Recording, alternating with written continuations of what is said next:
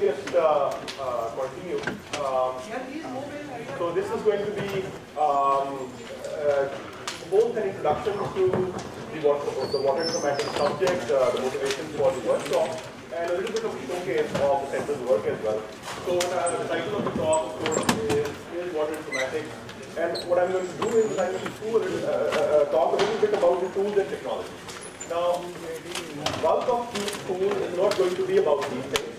Uh, the bulk of the tool is about data analytics, system analysis, uh, processing data, but I wanted to give you a little bit of an overview about what happens behind the scenes uh, in collecting data, in sort of uh, various enabling technologies that have actually gotten us to the point where we are beginning to talk about uh, these, uh, these very exciting data analytics technologies as well. So this is a little bit of a perspective of an electrical engineer, how uh, this very traditional sort of uh, field of electrical engineering are contributing towards this field. Also, I would, I would, uh, I would try to make a case and uh, give you a description of why I think that the water issue or the water problem or the water setting in Pakistan in particular is the most exciting in my mind.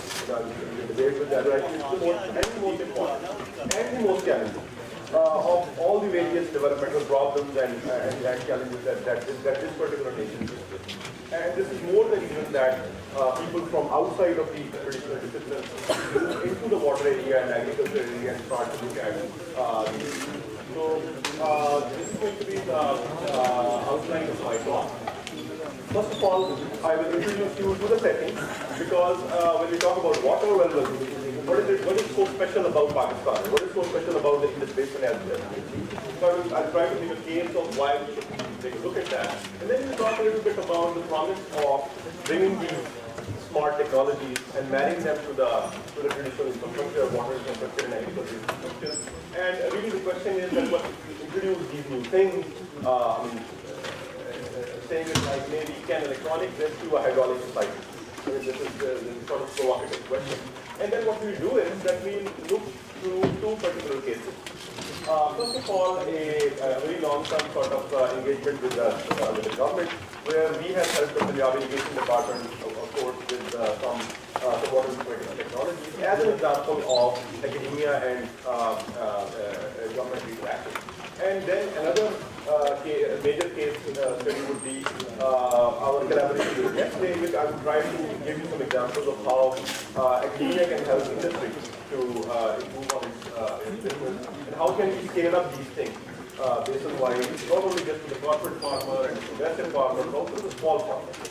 and again, in the sense of the governance as well, not only just for the irrigation department, but for other government agencies, small or big and farmer organizations, and and so on and so forth. And finally making the scale for Okay. Uh, now this picture is um, in the Indus Basin. This is uh, a country. Uh, these are five rivers. Uh, this is the river Indus. This is all the big rivers. They this, this, this, this, this one river system. And it's a very unique situation in the world where uh, the, these are the Himalayas from where the, the snow, uh, via the snow belt, most of the water is flowing through the river and ending up into the sea.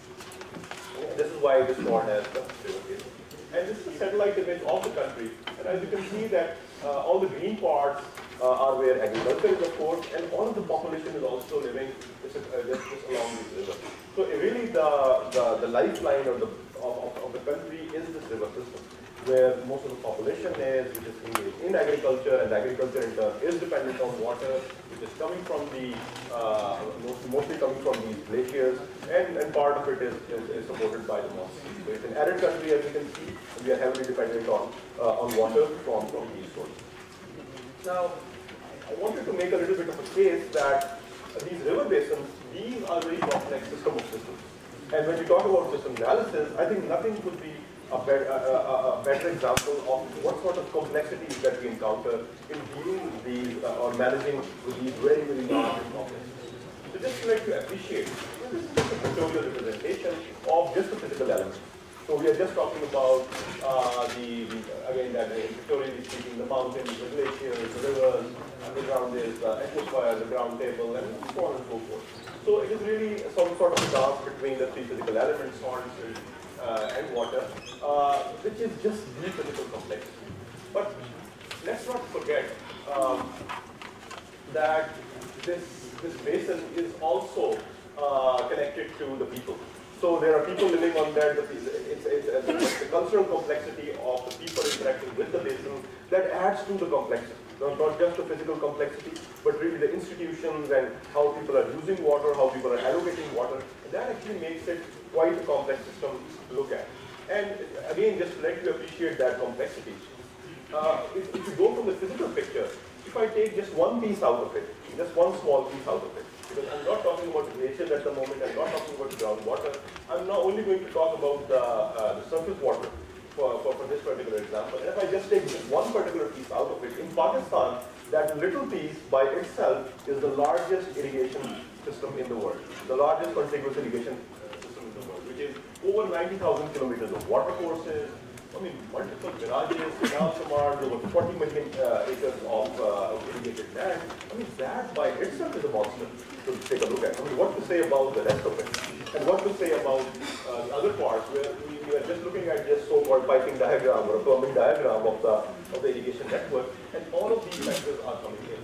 Um, and just to remind our, uh, uh, our guests and, and, and you as well, this 45% of the employment of this 200 million population country is attached to, to, to, to this plumbing diagram, if you want to call it, and 25% of GDP is being generated by.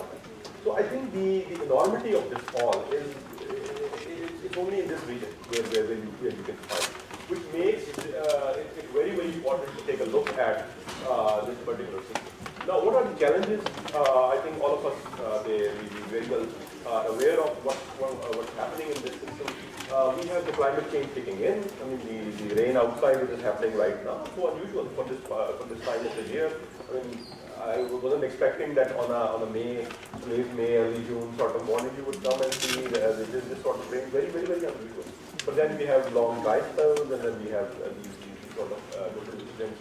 Uh, uh, precipitation incidents as well. So that is, it's not just a fantasy, it is actually happening at the moment. And um, then we have the population explosion. I mean, if you just drive outside of Lahore, maybe it does not uh, um, uh, surprise you because we are living here, but after our foreign uh, guests, I mean, they, you, are just startled by the density of how many people that you see around. So really the population is exploding. And that is actually putting pressure on the system. Uh, urbanization, of course, so the people are moving from uh, agricultural areas, uh, rural areas into, into the cities looking for employment. And then in the middle of all this, is, I mean, the world is changing. All uh, the new technologies are emerging, which are changing our ways of behavior, our uh, uh, lifestyles, and so on and so forth. Uh, and of course, we are we are Pakistan. We are in the middle of it all. The geopolitics is the, is, is the context. So um, uh, now, explaining just a little bit about the irrigation network itself, because that may be a little bit uh, interesting when, when, I, when I discuss a few cases down the road. I mean, these, these, in this line diagram, these are the main rivers, uh, the blue ones, and from the from the main rivers out of the reservoirs are these uh, these big canals. Some of these are strange canals because they are actually diverting uh, water from one river to the other, and most of you would know why. But uh, for our for our guests, I mean, this is because of the accord that we have with India, where half of the rivers at the time of the partition, uh, they have the eastern rivers India gets to keep and the western rivers we get to keep. Um, and from the canals themselves, these are the canal commands, there are these branchings. Um, for example, from the main canal comes these uh, secondary canals, and then from the secondary canals comes these distributaries, and from the distributaries these stars. This is, this is really like a, like a very, very complex network, branching after branching after branching. And just to um, uh, let you appreciate the sort of uh, managerial complexity, at the river level, uh, you have these international treaties where, for example, between India and Pakistan, and at the moment there is no treaty between uh, uh, Pakistan and Afghanistan over the over the Kabul River, but nevertheless that's a, that's a transboundary uh, sort of issue there. And then in, in, fact, between the provinces, I mean, I, am not showing any provincial boundaries here, but that all of us know is a hot issue. So how do you divide water between the provinces? This is where the IRSA uh, regulation body comes in, which is the Indus River uh, System Authority. And then when you go within the canals, then, then the irrigation department takes care of it. There, there are these feeder bodies, so to, so to speak, at some places, but then the irrigation department also takes care of things, and so on and so forth. So at each level, there are these multiple ways of, uh, of doing management. Uh, these hierarchies, they are sort of interacting with each other. That uh, once again, from purely from an engineering uh, point of view, this is not just a matter of releasing gates at one place or the other. The, the, the whole sort of uh, social complexity enters into this. Okay.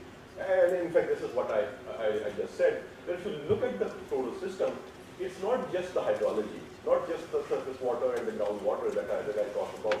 It is really this social network which is interacting or coupling very, very strongly with the hydrology. And that makes it a very, very exciting uh, social technical system to, uh, to take a look at because here you, you may have an engineer's eye or a physicist's eye where you want to just look at, uh, focus on the partial differential equations governing the uh, proliferation of groundwater downstairs, but I mean, uh, it's really coupled by how the, the, the policy making is, is, happening and how the end users are behaving and, and, and, and so on and so forth. So these feedback loops are really, really important. How human behavior is affecting water resources and in turn the water resources are affecting uh, uh, human, human resources as well. And uh, in this um, uh, setting, when I say it is very, very exciting, in a different setting I would say that's very, very depressing because to the end user, to the farmer, I mean, uh, and to the government official, I mean, this sort of complexity is a nightmare to, to really deal with. But I think in this community, where, as, an, as an academic, if you're looking for a problem to work on and, and, if you're looking for a challenge to be thrown at you, well, that same nightmare is actually your dream. Because I mean, that's, that's, that's the dream system, the system complexity that you want to spend your life tackling and proposing solutions and uh, dealing with fancy math and so on and so forth. So I, I mean, I, I, I, want to present this both as an opportunity and as a, as a challenge. An opportunity for us academics, but of course, big challenge because uh, all of us are tied to the basin and sustainability. Okay, now, and here I raise the question, well, okay, if you already have this, this, this very great physical complexity, now what can new technologies, these water informatics technologies, they can, they can, they can bring to the picture? Uh, the provocative sort of question that can electronics rescue a hydraulic society? I mean, already our society is molded by and governed by the, by the hydraulic software, but now we are bringing in these new gadgets. What, what, what, what can they do for you? First of all, I will list a few key, key areas. Uh, not to say that this is an exhaustive list, but maybe these, these are things that, that, that, at least our water policy managers have not really thought about too much. So things like, for example, new sensing technologies and Internet of Things. Uh, robotics and automation. I mean, this is not uh, something which is happening just in the West or these uh, Google self-driving cars which are, which are being introduced. Uh, even our agriculture sector would one day can benefit from, from, from these things. And I, I, will actually show you one, one concrete example of that. Computer vision, machine learning like 2, well, okay, so there, there is excitement about these big data analytics and so on and so forth. But what can that do for the water sector or the agriculture sector? Wireless networks, wireless communication technologies, uh, and, and, of course data analytics and systems analysis, the bulk of our course. I mean, when, when, you, when you collect data using all of these technologies, then, then you can do uh, throw a lot of fancy math at it to, to, uh, uh to acquire a lot of intelligence. And uh, I, am very excited to talk about this in this audience because I've learned that many of you are actually electrical engineers and computer scientists in this, in, in, this, in this role. And uh, for you to be uh, sitting in a water-related event and talking about these technologies, maybe you can, can generate new ideas for you.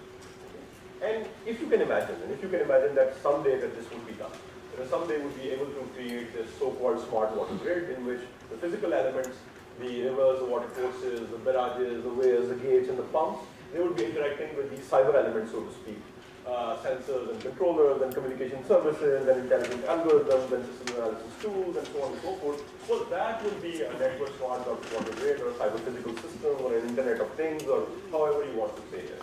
So I'm, I'm throwing these, these, these, some of these uh, uh, catchy sort of phrases because that's the jargon which is being used in the ICT community at the time. And for those of you who are from the water sector, at least you should be aware of what's, what, what's happening in that, that, that other world. And then if well, you can now stretch your imagination. Well, what can be done?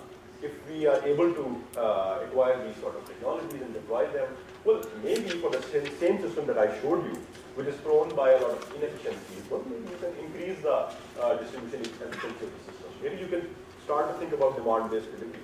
Um, those who are from the water sector would immediately be alerted by this because I mean this is a very very sort of different concept from irrigation delivery uh, as we are uh, uh, uh, practicing right now uh, control of non-technical losses, in plain terms just water theft or just uh, diversions or just uh, non-adequate sort of uh, usage of water. Maybe you can have good checks on those. system has monitoring, flood security, and so on and so forth. I mean, immediately these sort of things come to your mind. Now, if I had been showing this slide about 10 years back, saying, well, um, I mean, these are things that possibly one, one day can happen, I would have just stopped there. And we actually have done a little bit towards exploring these ideas and putting these things on the ground and, and, and looking at what can be achieved. So what I'll do now is show you a few examples of where we have actually done some of this, and some of this has been put uh, on ground, and what have we been able to achieve.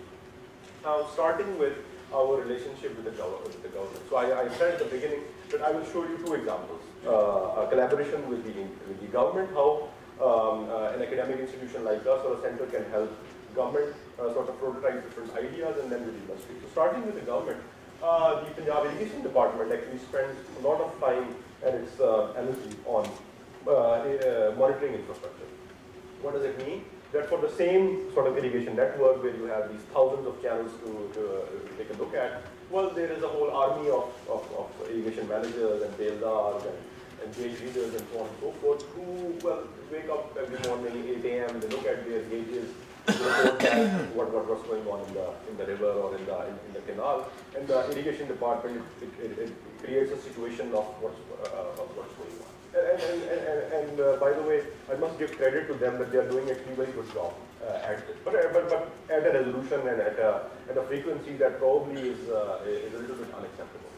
Now this is where we came in and then we started to uh, propose to the irrigation department, well you can think about real-time flow monitoring systems. And this was about a decade back that we started to have these sort of conversations.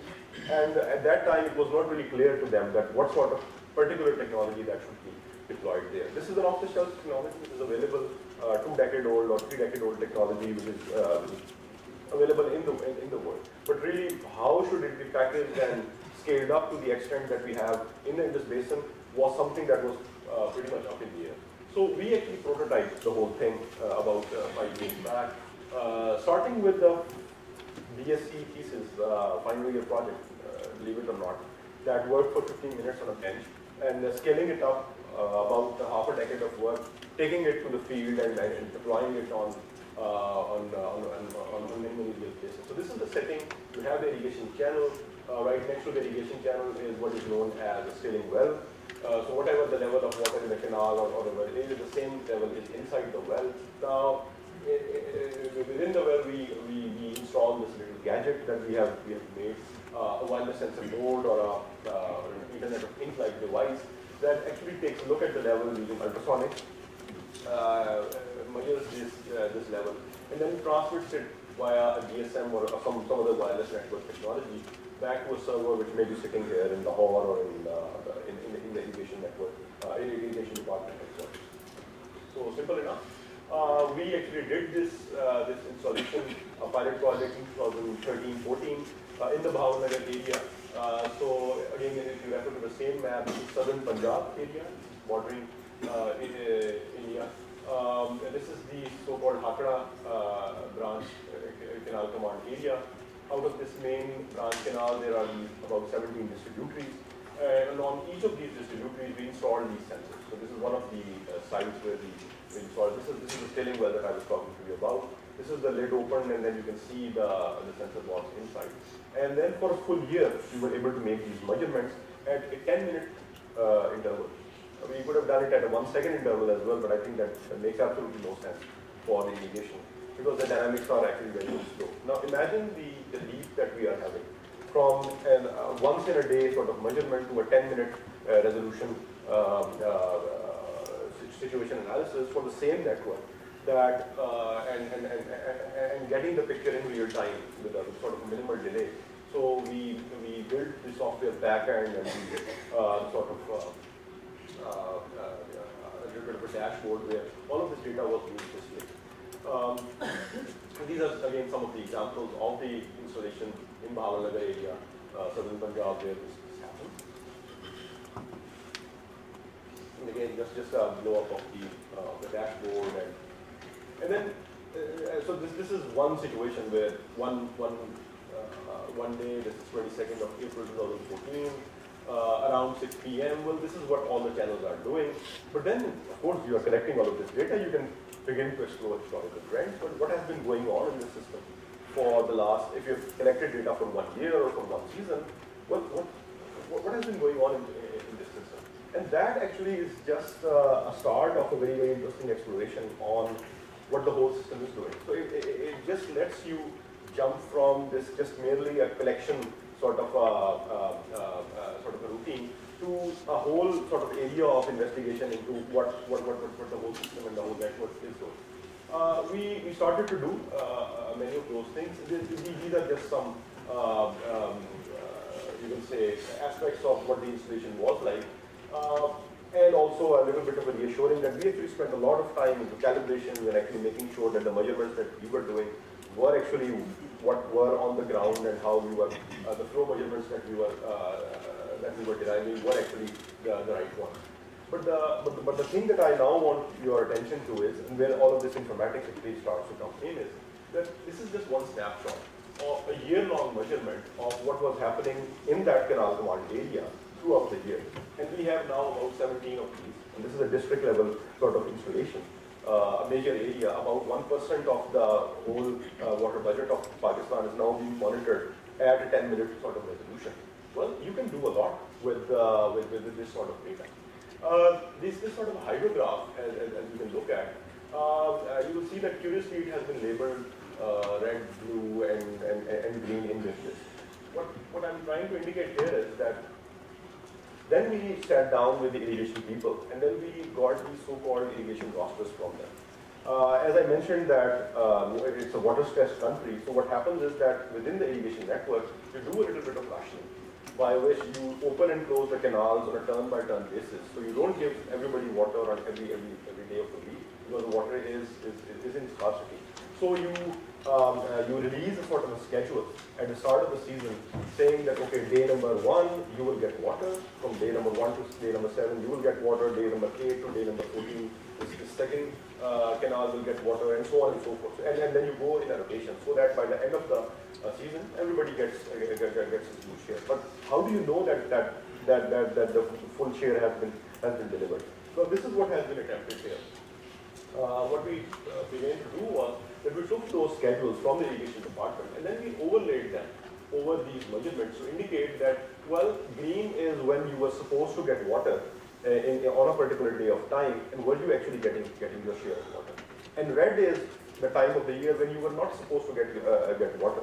And if there is a water level which is red but simultaneously high, that actually means that there is some sort of violation. I mean, think of the infinite possibilities now that begin to emerge from this that instead of sort of a very sort of open loop analysis of what's happening and just uh, getting a picture of what is happening in real time, you're now beginning to even analyze the operation on a long term and uh, sort of assessing the uh, uh capability of the irrigation department to, to, to, deliver over a long period. So um, we then got their measurements as well, their, their manual measurements. Again, they are doing excellent work of collecting daily measurements for the entire network, all of the branch canals, all of the uh, uh, minors and, and the, uh, as well as at the system. And then we, we, we, are, we are looking at other sort of issues, like for example, this is the main discharge of the head, at, at the head of the canal, which is uh, uh, uh, providing supply to all the 17 distributaries. And then maybe what is happening in the main system is affecting what is happening downstairs. So it's trying to look at what is happening at the river, river level and then trying to figure out that how does um, operations at a, at a large scale affects operation really at the micro scale, a sort of a minute by minute thing. That actually now starts to um, uh, become possible. So this again is a, is a, glimpse of those irrigation rosters, those Warabandi rosters that I was talking to you about, and uh, this, this is the schedule which is issued by the uh, by the department, and then we just sort of converted them. And then this, this was one of our uh, sort of uh, little findings in which we did the area under the curve for the, for the hydrograph to find the total volume, and then we are beginning to compare, well, there is this particular area which is getting this much water or volume of water throughout the season, as compared to, for example, this area where, where it is getting this, this one. Now, there may be good hydrological reasons for why this is happening, but a farmer living in this area can now begin to maybe, maybe uh, at least, at least raise a question of, well, why is this area getting this much water and this area getting this much water? Why, why is there a difference? And that actually leads to all sorts of questions about these feedback loops between the social network and the hydrology.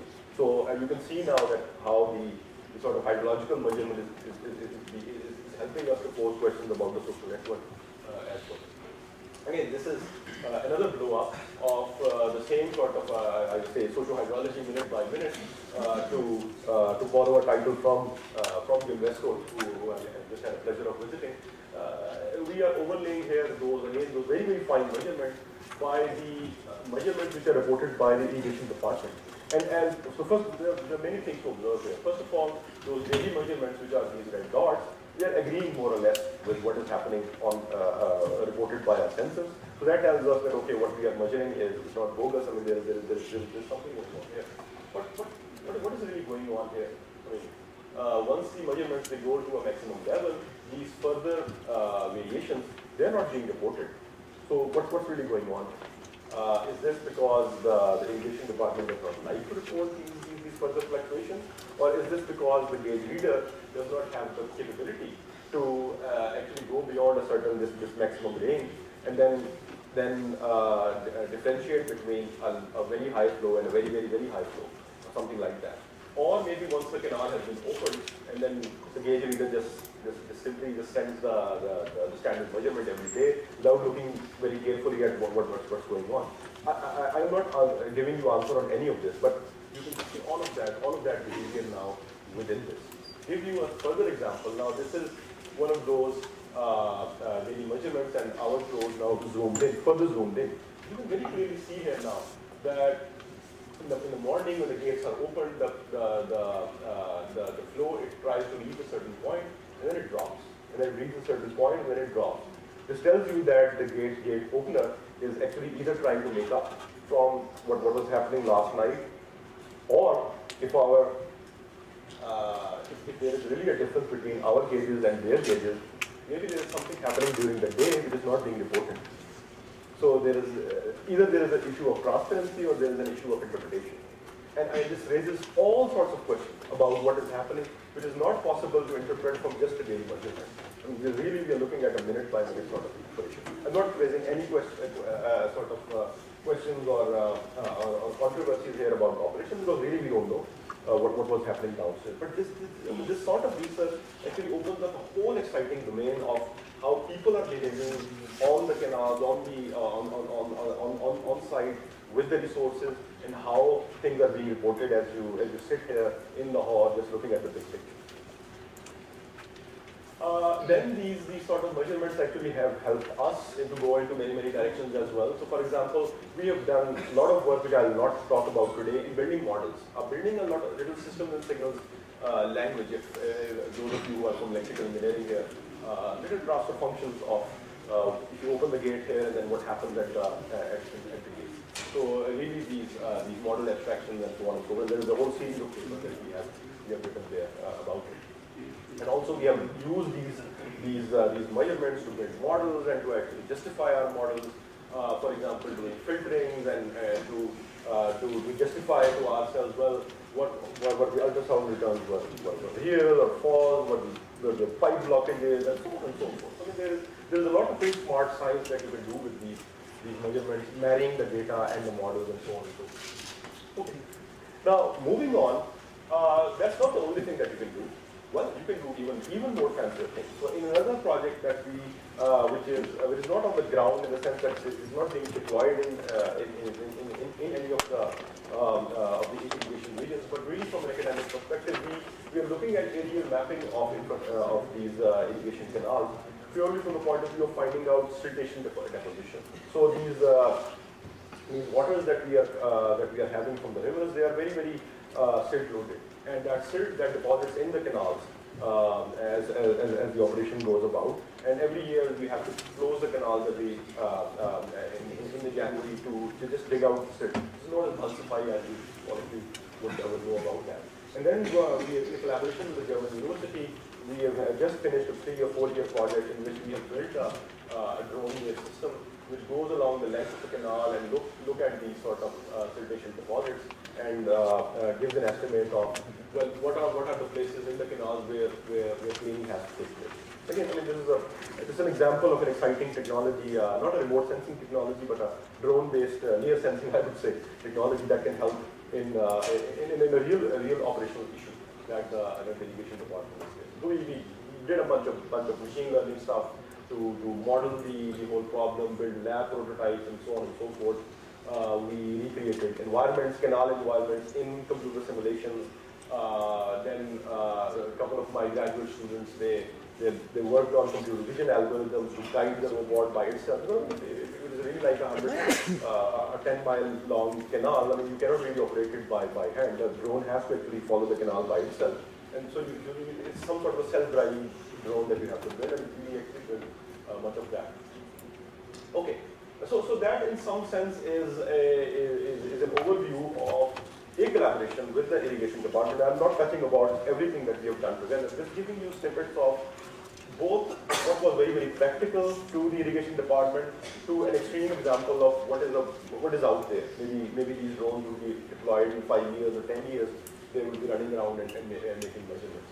So piloting of some technologies, doing some real demonstrations. In the Bahawalnagar area, I've, I've, I've already mentioned, but uh, nearby uh, campus in Lahore area, we have, we have done another installation for them.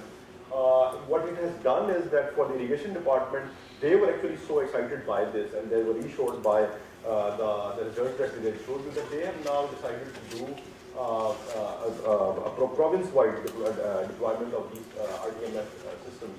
And already about 200 points um, of these have been commissioned uh, this year and next, and uh, ultimately they want to do about 3,500 points.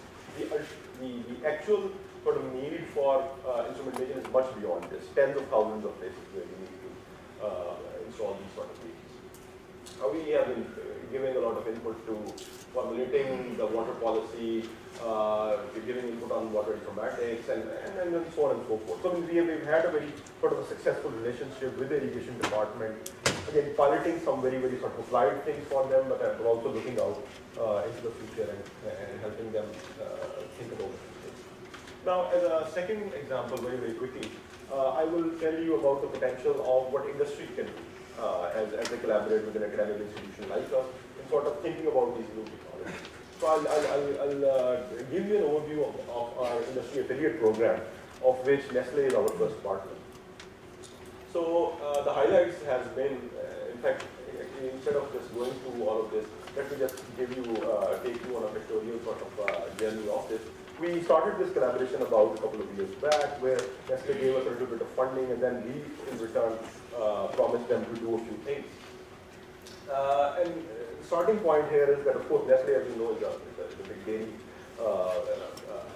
vendor and uh, the, one of the biggest suppliers of dairy and food industry in Pakistan. And they have their dairy farm, and this is one of their model farms in Nirala. And I'm, I'm, just making this little uh, sort of a, cartoon of how, uh, how they are doing their operation. So at the center of it is, of course, the dairy farm where they, where they keep the animals. And for every animal which is there, they have about two acres of crop field, which is dedicated to providing fodder to the uh, uh, to, to, to, the animals. So, uh, so, so this is this is the uh, the, the, the heart of the operation. Of course, to uh, to, to run this farm, uh, they need to divert water from the canals or from groundwater, and then there there is a bit of interaction going on here that the, the, the from the crop fields this is used as feed for for, for the animals, and maybe maybe the output of the animals can be used in turn to uh, to, uh, to use as nutrients in the field as well. And then um, at this time, Nestle begins, begins to wonder, well, we have this farm here, and then we're using electricity here. Well, what if we try to um, um, uh, install some sort of a biogas reactor to, to maybe somehow balance between uh, the, the grid electricity and, and the potential that we have here? Because these animals are producing a lot of slurry, so instead of just throwing it away, uh, or maybe diverting some of it to the fields. Maybe we can use, use it, some of it here into the bio, uh, biogas reactor and in, in turn do some sort of optimization. By the way, the rest of the cartoon, there is this little road that uh, that just indicates that from the dairy farm the milk trucks are now taking this to the milk, milk, milk plant as well. So that part of the operation I will shortly talk about as well, the whole milk, milk, milk collection business. Now at this stage, well, we will come in and say, okay, let's, let, let, let us try to help you in thinking about this that how can you actually um, uh, maybe make, make use of or, or, think about how much of this slurry uh, is being produced, which is which will be good enough to, to, to power your biogas reactor, so that you can have some sort of an optimal optimization between the grid electricity and the biogas. And this is again, once again, those the, the list of technologies that I that I showed you.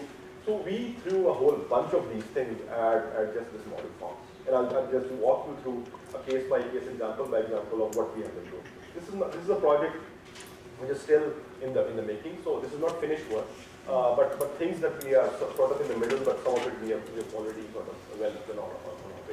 So first of all, well, those same instruments that you saw for our irrigation monitoring, well, you have the sensor box and the whole sensor network idea ready.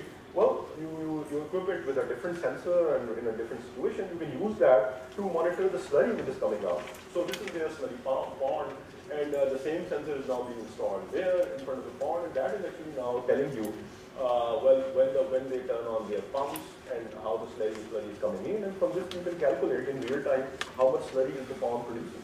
So this at least can help their, uh, their dairy farm managers to, to, to get an idea of what sort of production are we actually really looking at if you want to operate the biogas uh, gas reactor. And then in, in, uh, in parallel, in the crop fields, uh, if you want to increase productivity of, of the crop fields for the uh, for, for, for, the animals.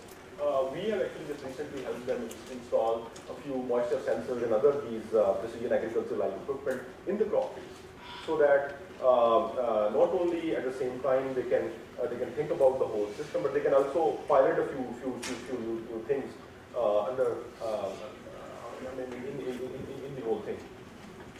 And then because uh, uh, we have again the, the, instruments ready, we can also calculate for them, well, how much of water is actually flowing through these little channels which, uh, by which they are diverting water from the canal. So, so making a little modification of again the same, same principle that we use in the big canals, we have used it for these little channels as well. Now this, as you will, uh, many of you will recognize, especially coming from the water agriculture area, these are these flume-like structures, uh, very, very uh, difficult to uh, to manage and, and much more problematic to to instrument than than these big canals. But but, but we, we have actually made quite a bit of progress towards uh, again reconfiguring the same technology towards um, measuring these small flows as well. So, so, so this is where again in the cartoon, now I start to populate all of this form using this, so IoTs, these Internet of Things, uh, sort, sort, sort of, there, there goes in slurry, measuring the slurry and measuring the water and measuring the, uh, the, the moisture in the field and so on and so forth, and then using these wireless networks to transmit all of this information back to the server. Okay, so while all of a sudden this form is beginning to look a lot fancier than, than, than, than, than what, what it used to be. And then, well, we, we are pretty familiar with our drones flying the irrigation canal. Was looking at siltation. Why can't we just use that, those same sort of drones to look at the, the fields and, and look at what's happening on the fields. I mean, this is now an, sort of an off-the-shelf technology almost these days. So one of our uh, associates there, Ahmad Kamal Nasir, uh, I don't know if you, you, will be able to meet him during this uh, particular event. Uh, he flies these drones. So we take these drones to the Nestle farms and then show them how to do it.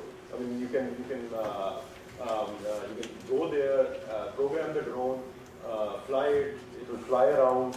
It will collect data about what's happening. I mean, this is you don't need a fancy satellite to do, uh, do all of this. Your, your, your $5,000 drone can also provide a lot of useful information for you. And again, within all of this, I mean, these, these pictures are telling more than what, what catches the eye. Well, you know who, who this guy is? This is the farmer right next door. This is not a Nestle farmer. There's a farmer which is right next door who has just come in and just beginning to wonder, well, if Nestle can fly drones over their farm, well, I can do that too. And this is how technology is going to sort of just proliferate. So when, when we are working with an organization like Nestle or helping out the irrigation department, not just these industry people that we are uh, that we are uh, uh, helping out, but, but really we are looking at some big scale changes to how, how, how things are uh, going to uh. Again, in the, cartoon now, okay, all of a sudden these advanced robotics and computer vision like technologies, well, then you have these drones making these MTK maps over the field, and this, this is also now possible. Okay? Uh, I think the only place now left is this, this milk plant, which, which by itself is a pretty pretty complex uh, operation by itself. But what, what, what can we do here? And then in one of these summer schools, we did a little poster session, and one of the Nestle people, he walks up to one of my PhD students, who is doing a project in robotics and says, well, you are looking at road safety as your part of your project. Well, we are facing the exact same problem in transportation of our milk to our, uh, uh, uh, from our milk collection centers, between our milk collection centers and the factories and the, and, and the farm. Why don't you help us? And Nestle uh, has a big operation about uh, 400 trucks, 1,000 drivers, and 280 routes. And they are actually a real problem where there are a number of incidents and number of fatalities which they are, they're, they're, they're dead serious about, about dealing with uh, uh, in, in, in, minimizing, of course, their uh, uh, uh, risk to their, their fleet, but also to the general public, and, and of course, protecting their brand as well. And they already train their drivers in making these route hazard maps uh, to, to guide how the, you should be careful at this particular point, there will be a school there, there's the congested area and so on and so forth.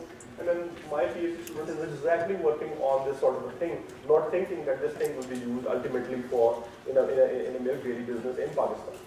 So we actually prototype for them a little self-driving car. This is not a self-driving car that drives by itself, it just collects data. Uh, we have all the sensors that you would find on the Google car. The laser scanner is there, the, the GPS and the IMU.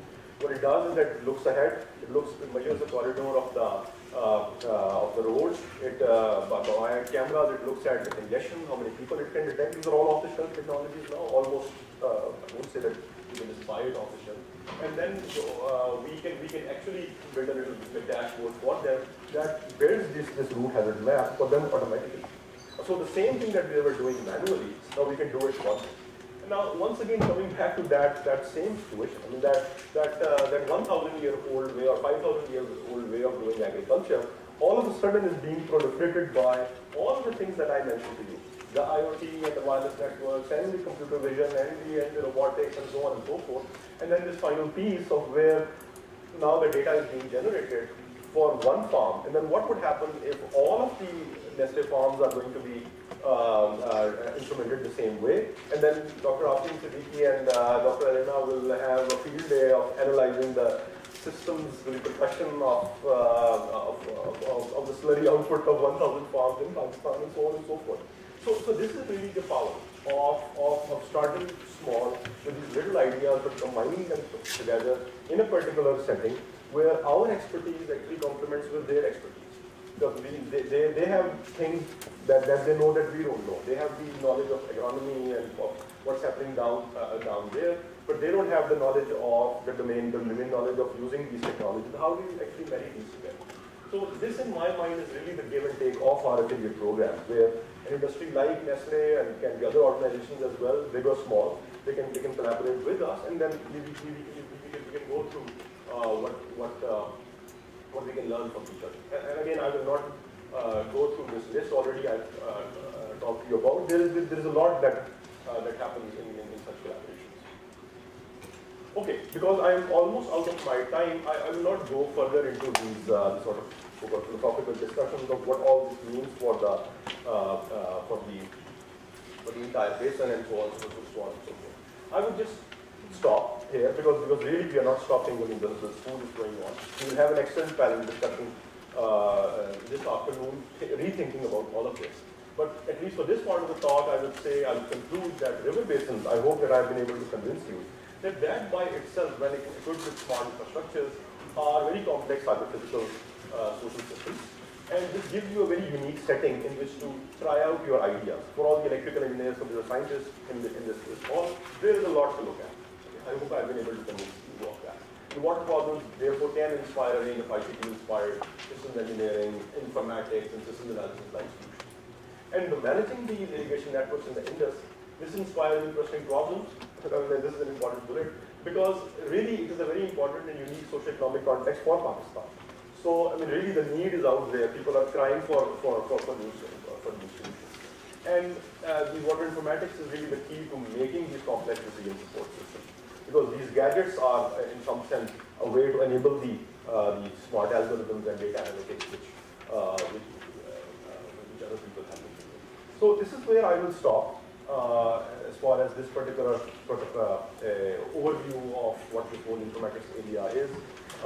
if there are any questions or comments at this time, I will be happy to, to take and otherwise we will move on. Navigation Department. The RTFM instruments you mentioned are currently installed on canal system. Yep.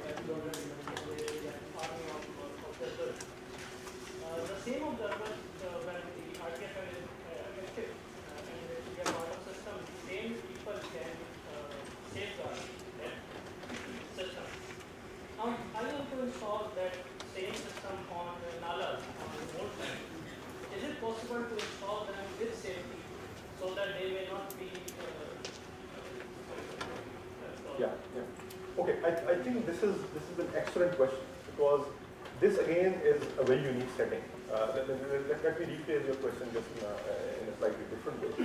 That all of these robotics and uh, sort of automation-like technologies, they probably make a lot of sense for a country like USA or Austria, where I mean there's an advanced society and there's, there's uh, almost a general understanding of what these things do. But for, a, for an exploding population here, when as you said, there's an army of all of these doing these manual jobs and they are involved with, uh, their, day-to-day operations. Is this going to affect or displace them? Is this going to help them? And wherever the gadgets are going to be alone and not be uh, in companion with their, their, their, their human partners, uh, are these technologies going to be successful? That's a big, big open question at the moment. So even while I am making a propaganda for these sort of technologies and borrowing from our international experts and, and going diving into all of this, I am dead worried in my heart in, in parallel about, well, what should be the right mix of technology and, and manual operation. In fact, this is not the forum to talk about it. I spent the whole last year thinking about just this particular question. Of, and I, I, I, in, in, in, just a nutshell, I, I think my conclusion is that there has to be a mix it has to be somewhere in the middle. There are some uh, uh, some issues, and I think probably then this slide was important that I, that I mixed. Now, the, when I was showing you all of these various technologies, there are certain situations where you cannot do without automation. How can you deploy another army of engineers or an army of Beldas or whatever to take a measurement every 10 minutes? It's not possible how can you uh, deploy, even if you have a 20, a 200 million population, some things are not, not possible, humanly possible, even if you have a lot of, uh, lot, lot, lot of labor available. So these technologies, what they, do, what they do is that they help you overcome some scales, especially the spatial scales of the, the inability to monitor and maintain these very, very large infrastructures. Time scales, getting this information very, very frequently. Some things are not, not, not possible. The, uh, what would Nestle do is uh, deploy 50 people to look at slurry, what is uh, coming in and coming out and making notes by pen and paper, something which is not, not, not doable. But I think the very important uh, thing is the whole issue of human scale, which Elena and Afreen is, is, is, teaching you. That there are some things, these, these sort of these advanced algorithms and these expertise, which is infinitely difficult to scale up to a level. For example, uh, the federal government can uh, um, can invest into a billion rupee software to allocate uh, water between the provinces. But what will that little uh, farmer association do? The little guys who do not have the capacity to think about these in, in, in so sort of uh, uh complex terms. So they would actually need uh, some sort of a software, a decision support system, a guide, a, a guide to help them make these sort of decisions. So really, some problems are really not, not, not scalable. So that is the case for it. But then there is a case against it as well. And I think there is no time to, to, uh, to talk about it. So we really have to be conscious about this balance. So, so it's a really, really excellent question and something that we should all be thinking about in the next three days. Uh, just, uh, let, me, let me just, uh, because I am the also the organizer as well, so how are we doing with time? Are we, then we should, I think we should stop uh, here. Uh, we, I am available. Uh, the today's uh, panel discussion in the afternoon is going to be about these larger issues. So, um, if, uh, if, there is any particular technical question related to the talk that I have given, uh, please feel free to ask after the after, after, the talk. But the general questions, I think we should get get back and, and start to talk about them the.